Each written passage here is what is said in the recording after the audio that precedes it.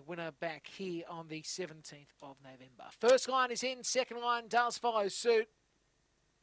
And this is the final leg of the quaddy. Green light lure driven.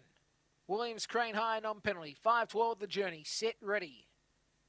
And away, Kinglock Blazer began well. Speed from No Joke and cloned moving forward. Pawsome Sloan down the centre. Follow next by Cornborn Sunny. Back on the inside is Compton Buster from Cornborn Sunny moving up now. Then Sweet Moments is third last from Compton Buster. And back at the tail, Harry Swagger. Pawsome Sloan leads by a length. Kinglock Blazer in second. Another four lengths back to Cornborn Sunny cloned. On the inside, Sweet Moments, No Joke around the turn. Kinglock Blazer tries to hit the lead. Pawsome Sloan trying to go again. And Pawsome Sloan wins by a neck. Pawsome Sloan wins from Kinglock Blazer. Third goes to Cornborn Sunny. And then came cloned alongside Sweet Moments, Compton Buster, Harry Swagger, no joke. Time will be 30 and 2. Pawsome Sloan got there on the last stride, and it is a great run. Jason Newman will be happy about that run because, as I said, it's probably a neck the margin, but there is a margin there.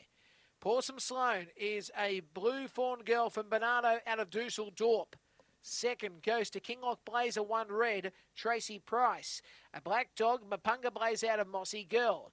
Third spot, five yellow, Cornborn Sunny, trained by Lewis Green, a black dog, Cosmic Rumble, Cornborn Liz. 215, 30 and 20 the trip what was a very tight affair. Now, our fourth number will be the six. So 2, 1, 5, and 6, the numbers from race number 8. So there you go. 30 and 20 the time. 30 and 20 a neck by. A neck by three.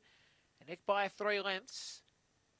And just awaiting for the sections 449 and 1701.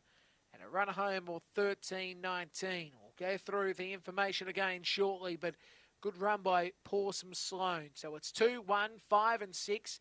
A neck by three will be your margin. All clear at the pay. Sections 449 and 1701.